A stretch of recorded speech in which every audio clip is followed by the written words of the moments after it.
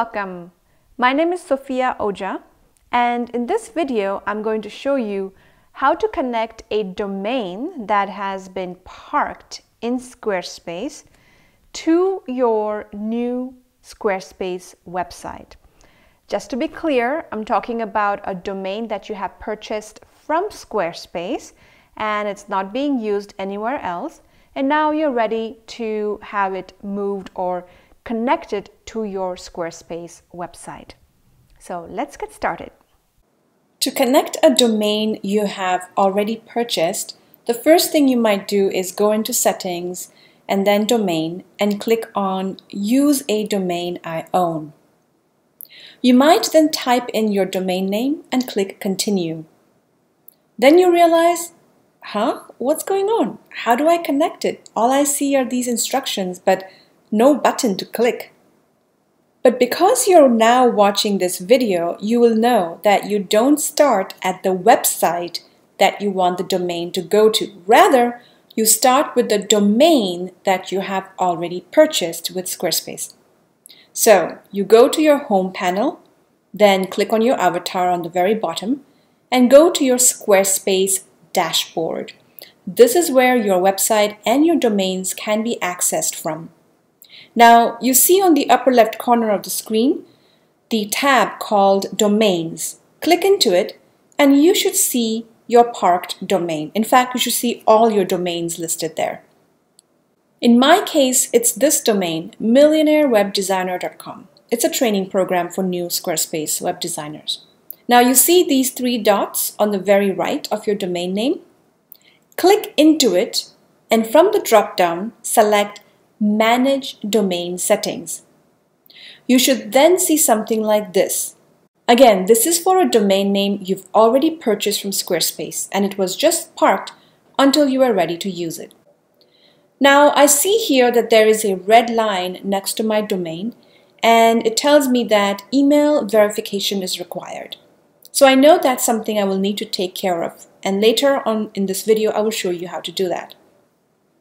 But first, click into it and scroll down to click on Move Domain to another site.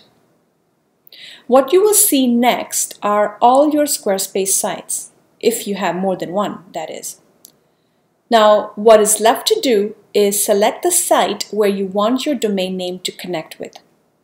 Next, you will see a screen like this one, where it will ask you to confirm that you want to move your domain to the Squarespace site you've just selected. You can double check that it's the right one by looking at the name of the site and the internal URL of that site. Next, click Confirm. That's it. You will see this notification that your domain has been moved. Next, click into the domain name here and select Make Primary Domain.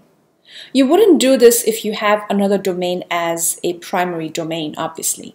But in my case, this is the only domain connected to my site, and I want to make it primary, the main domain for my site. And you can also check the lock domain circle here. So this domain cannot be transferred unless you want that in the future, and then you can uncheck it. If you want to look at the advanced settings, you can click here, but you don't need to do anything here. If you want to look at the registration information to make sure everything looks correct, you can do that as well.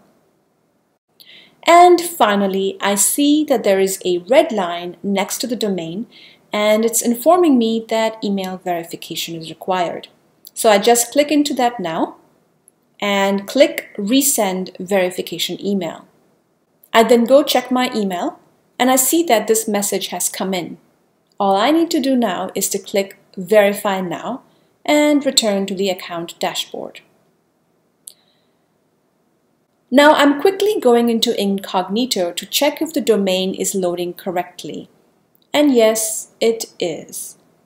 As soon as I purchase a plan and publish the site, it will no longer say private site. And that's it. That's all you need to do to connect your parked domain to your Squarespace website. So I hope that this video was helpful for you.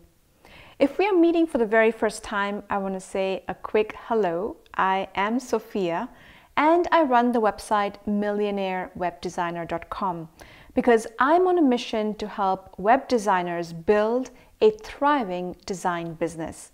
Go ahead and check it out. I have webinars and masterclasses that I run on a regular basis. Go to millionairewebdesigner.com forward slash masterclass and check out the next one coming up.